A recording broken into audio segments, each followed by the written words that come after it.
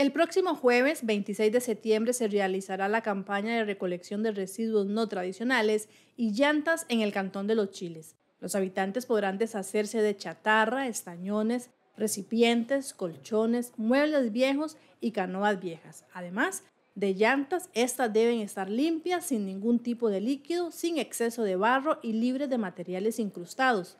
No se recolectará llantas industriales y llantas con alambres expuestos.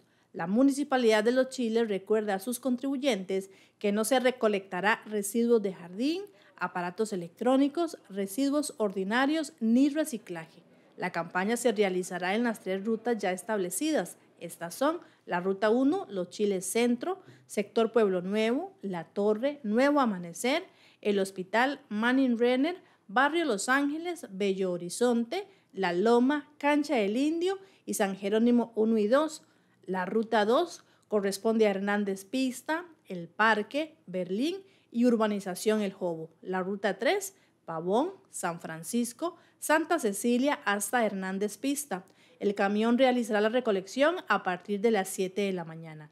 Esta campaña de recolección de residuos no tradicionales es organizada por la Municipalidad de Los Chiles y el área de salud de dicho cantón.